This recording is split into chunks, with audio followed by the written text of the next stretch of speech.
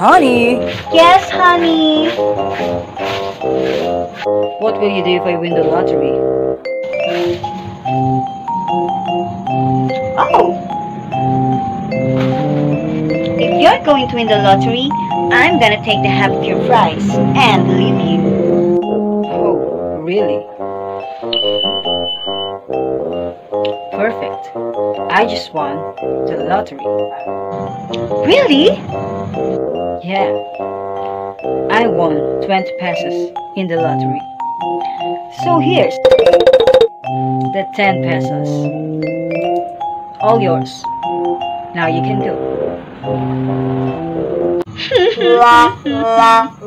go.